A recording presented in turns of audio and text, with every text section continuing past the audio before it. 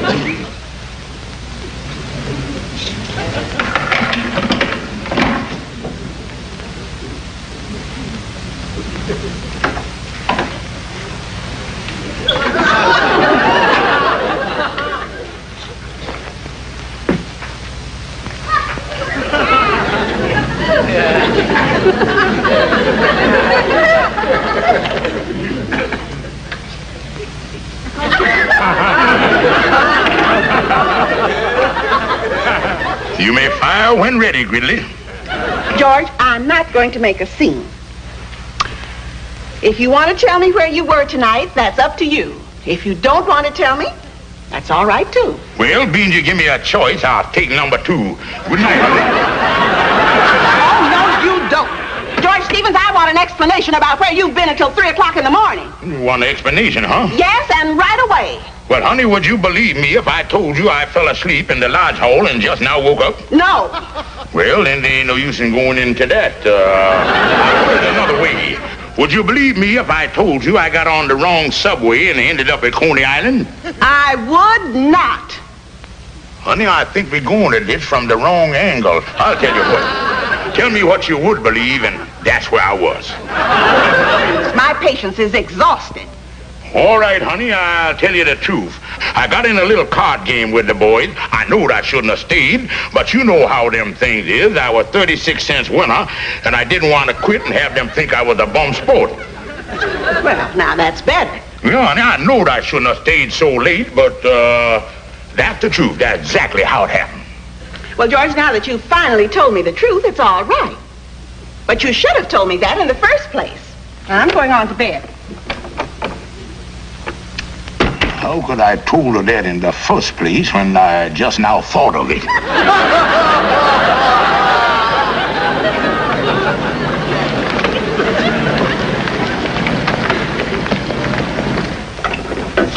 Hi, Amos. Oh, hello, Kingfish. Well, Amos, I stopped by to tell you that I want to thank you for that job you got me at the Blue Slipper Cafe. Oh, you did get the job all right then. Oh, yeah, I started working last night. Oh, that's fine, Kingfish. I bet Sapphire was real excited when she heard you was working. Well, to tell you the truth, I ain't told her nothing about it yet. You ain't? Well, well why not? Well, Amos, I tried hard sometimes, but it seems like I don't last too long on these jobs. I usually tell Sapphire that I'd working, then she come at the bawling with joy. Then the next day, I have to tell her that I'd fired, and then she come at the bawling about that. So now I gonna wait until I fired before I tell her I working, and gonna let her combine all the bawling into one big lump. Well, uh, you ought to be able to hold a job all right if you likes working there, Kingfish. Oh, I like that fine, Amos. They treats me nice.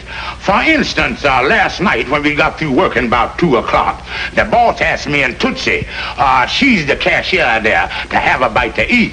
And he set us right down to the table there, and we had ourselves a meal.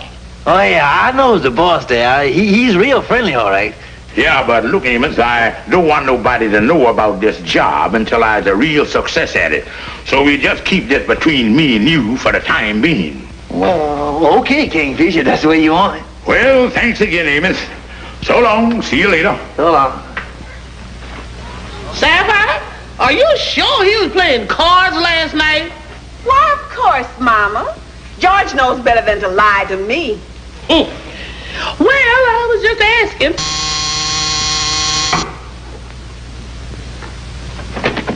Yes? Are you Mrs. Stevens? No. Well, I guess I can leave the message with you. I'm Mr. Holbrook, manager of the Blue Slipper nightclub. Mr. Stevens dropped his wallet at the club last night, and inasmuch as I was in the neighborhood and thought he might be worried about it, I thought I'd drop it by. You say he dropped his wallet in the Blue Slipper nightclub? Yes. Actually, Tootsie found it after he left the table. Tootsie! Yes. Well, I must be going along. Good day. Sapphire,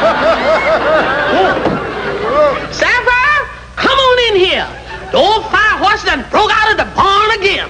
What are you talking about, Mama? Well, as far as I can see at this moment, you is running second to Tootsie. Tootsie? Yes, Tootsie. A man just come over here from the Blue Slipper nightclub, and he said George dropped his wallet while he was sitting at a table with Tootsie.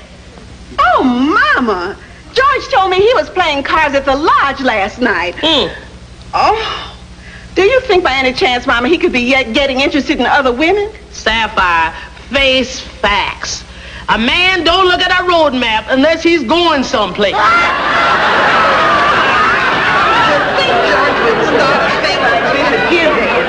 That's the age they start. When a man gets over 40, then he gets the courage to do the things that he's been thinking about all those years.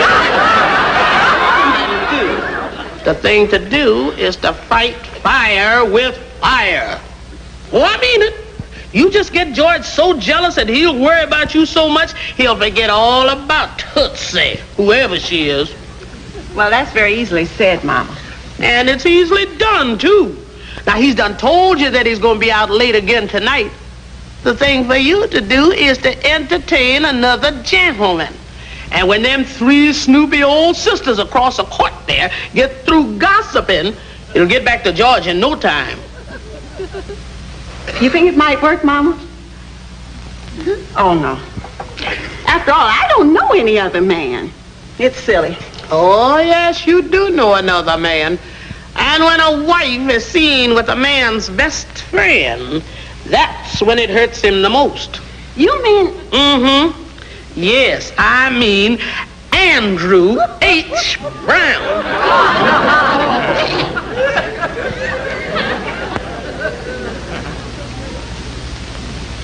Sapphire, it's 7.30. I sure hope you're ready. I'm all ready, Mama. Oh, you look lovely, daughter. Oh, thank you, Mama. Mm. And say our plans are working out wonderfully. George says he'll be coming home late again tonight. Huh.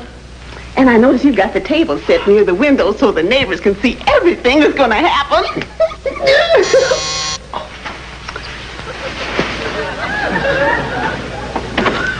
oh, Andy, do come in. I didn't mean to bust in with you still in your camisole. Oh, Andy, this is my new evening gown. It's a copy of a Paris model. Yeah, looks like they run out of material while they was copying it. Hello, Miss May. Hello, Andy. So nice of you to come up and see us tonight. well, I'm going to be running along. Have a nice time, you two. All right, Mama. Enjoy yourself. Yes, nighty night. Good night, Mama. Andy, won't you sit down? Uh, Dinner's all ready. Yeah, thanks. Uh, say, Sapphire. Yes. I noticed there's only two places at the table here. Ain't you gonna eat with me and the Kingfish? Oh, George isn't here, Andy. We're alone. Alone. You mean there ain't nobody up here except me and you and the roast beef? That's right, Andy. Yeah. Well, I tell you, Sapphire, I think I better run along, because uh, according to Emily Post, the roast beef ain't much of a chaperone. Oh, no, Andy. Will be here later. Now, don't worry about a thing. Sit down. Yeah, well, if you say so. Yes, you sit down.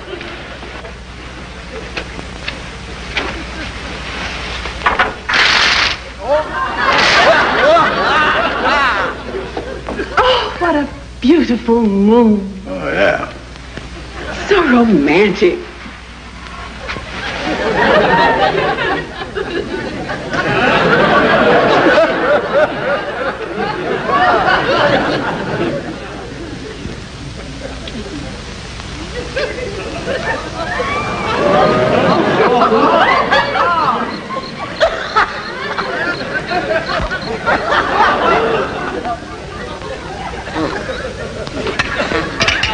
Oh, Andy, here's a bachelor button.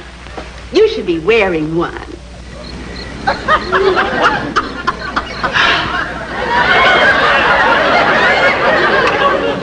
All finished, Andy? Yeah. All right. I'll remove these things. and I'll bring on the main course.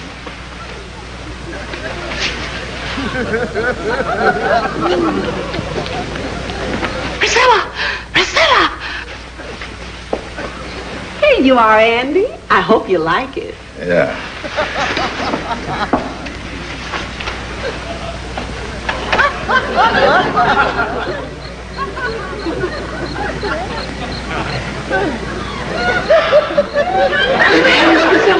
It's an orgy.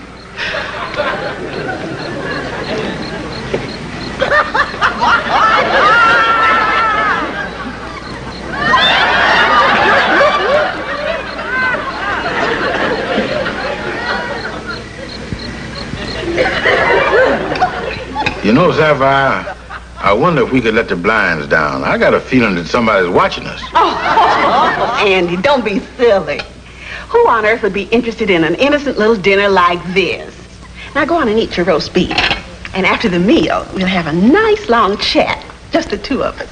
Well, what time the kingfish coming home? Don't worry about George.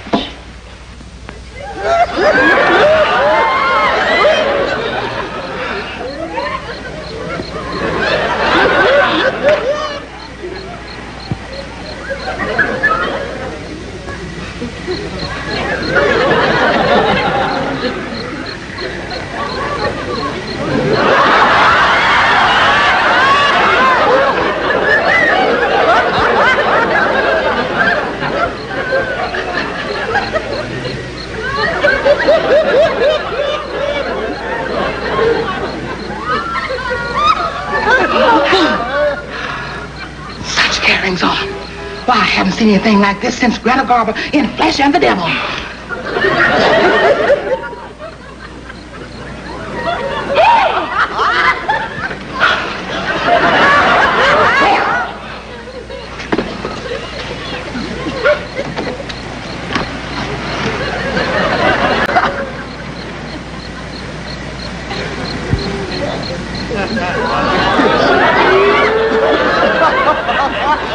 All right, Andy, you can go home now.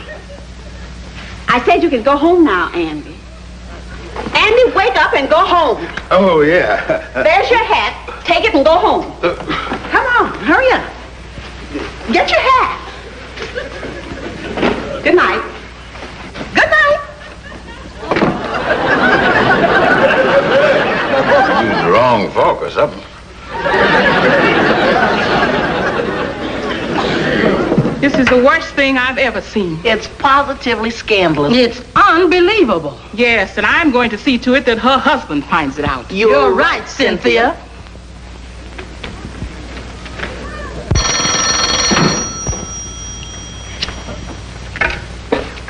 Hello, George Kingfish Stevens speaking. Well, this is just a well-meaning neighbor. Uh, Mr. Stevens, I think there is something that you ought to know. Last night while you were out, your wife had a gentleman visitor up for dinner. What? A gentleman visitor? That's right. I saw it with my two sisters. And I just thought you ought to know. Hello, hello. Wait a minute. A gentleman visitor. Well, hello there, Bright Eyes. How you doing today? Uh, what's the matter, Kingfish? Oh, Calhoun, something awful done happened. I never told nobody this, but I got a job in a restaurant. And last night, while I was away working, a fella come up to my house and had dinner with my wife. A neighbor done phoned me about it. Oh, what is I gonna do? A fella come up and had dinner with your wife? Kingfish, this is one of the most dastardly things one man could do to another. A thing like this shows the terrible evil that lurks in the heart of this man. It shows that this unscrupulous viper has sunk to the lowest form of chicanery. Kingfish, whoever this fella is, he done done a bad thing. What did you have for dinner? Oh, Calhoun, I going crazy. I gotta find out who this fiend is that violating the sanctity of my home. Well, now, Kingfish, as I see it, the only way to find out who he is is to find the neighbor who called you. That's the thing to do, Calhoun. But Calhoun, I'm nervous. You scout around and see can you find this person, then bring me the facts. It was a woman. Well, Kingfish, I've always been a man willing to help a pal in need. I'll do what I can. And as soon as I find out anything, I'll call you up here at the lodge. Oh, thank you, Calhoun. Thank you. Oh, this is awful.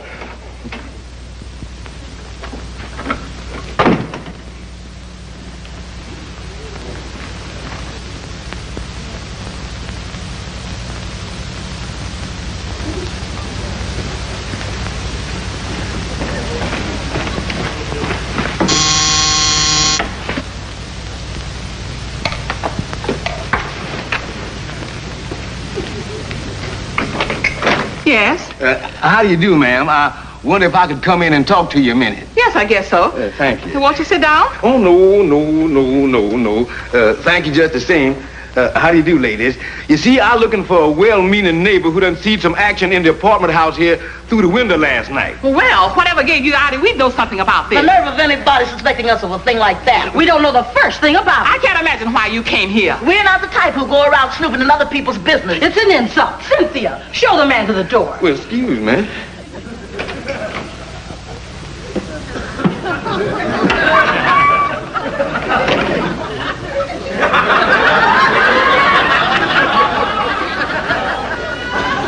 Why, you little rascals, you. Come on, my gals, dish me the date. It was purely an accident. We just happened to be washing the windows. But we couldn't help but see what happened. Well, what did happen? Well, you see, she had on the most revealing evening gown. It's a strange man. Friendly. Right? Oh, And all of a sudden, they were Hold it, gals. Hold it! Why don't you just cackle one at a time? Now, come on, let's take it from the beginning again. Well, as soon as they were seated at the table, the first thing she did was to pin a flower in his buttonhole. Yeah. And then when she brought in the roast beef, she patted one on the cheek. yes, and he ate four pieces of roast beef. Well, up to now, the feature attraction seemed to be the roast beef. Well, after the meal, all we could see was her. She just stood there looking down at him, and she was obviously making love to him. Yeah, yeah. Now we're getting down to pay dirt. What happened then? Well, she was just about to take him in her arms. That's not the way it happened, Cynthia. He grabbed her in his arms, and then he tried to... Priscilla, that's not the way it happened. They grabbed each other. And then... Yeah, when the- well, and then, and then, and then what happened? My telescope went out of focus, and I lost the picture. Well, at oh. any rate, it was obvious that they were both madly in love. And after what we saw last night, I'd hate to think what would happen tonight. What you got to say to that? Uh, you wouldn't have a spare perch at that window tonight, would you? I'd have you to know that what we saw was only an accident. Well, I, I ain't interested in no more details, girls. What I want to know is, did you by any chance recognize the man that was in the apartment? Oh, yes. We can describe him perfectly.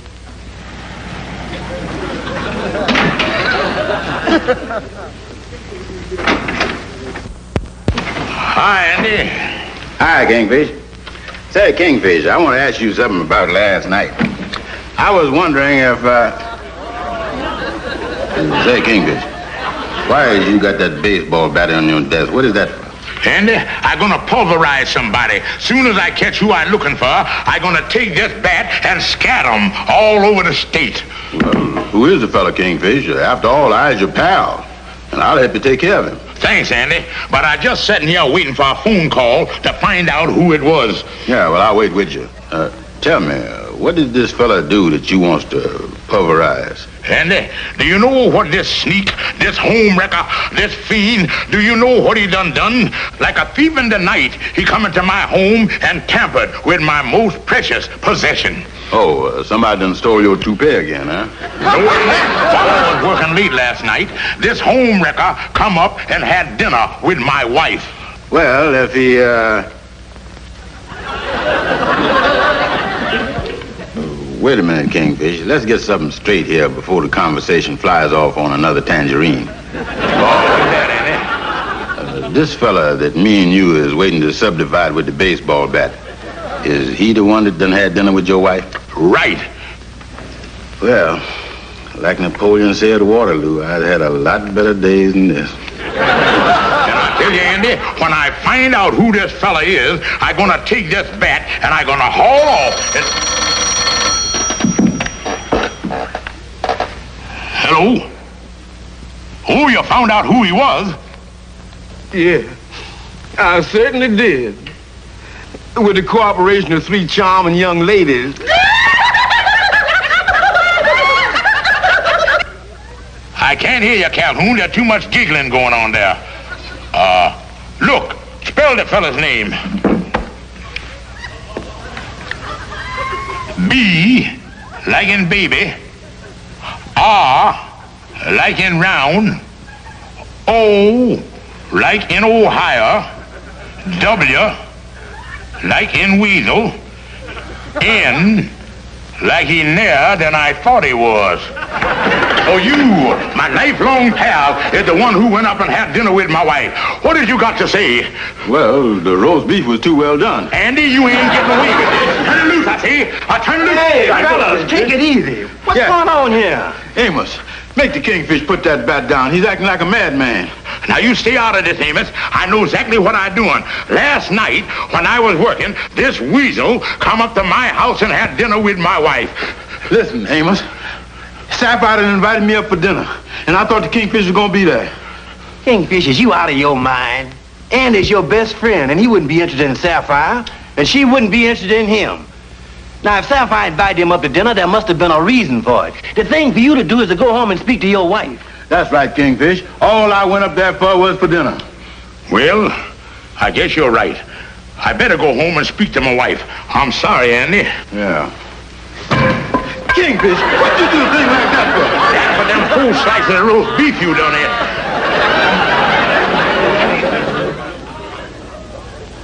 But, George, how are Mom and I to know that you had this new job at the nightclub? Well, that ain't no reason for you to figure that I'll galvanizing around with some gal. Well, George, I only invited Andy up here to dinner to make you jealous so you would stay home at night. I thought that you... You thought. Yeah, you thought. If you don't know me now, after 25 years, you ain't never gonna know me. But, George, darling... Look, Mama, you just as guilty as Sapphire. You probably egged on in the whole thing. I'm so sorry, George.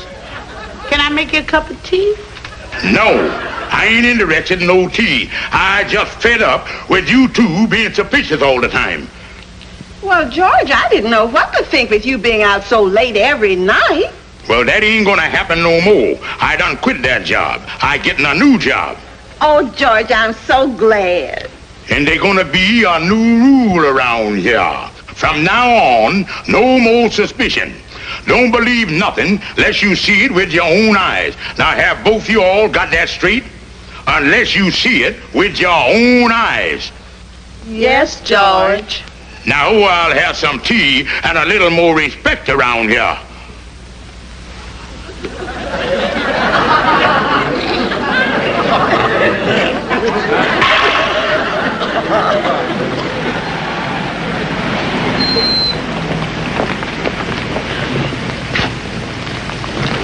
I certainly hope George likes the tie I got for him. Oh, I'm sure he will, Sapphire. He's so sweet. yes, he is, Mama. And you know, never again will I believe anything unless I see it with my own eyes. You're right, Sapphire. Wonder how George likes his new job. Oh, I guess he likes it all right. He said he's working at the Globe department store, and that's a very nice firm. Yes, it is. Mm-hmm. Bus ought to be along any minute now. Mm-hmm. Hey, Sapphire. A- Ain't that George coming out that store?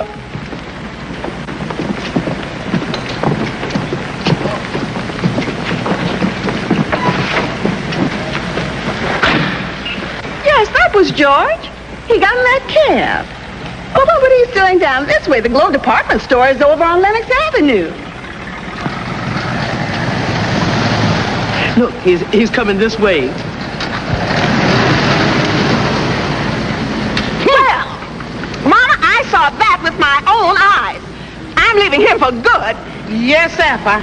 I'm a witness. I saw it with my own eyes. Come on, let's go home and start packing.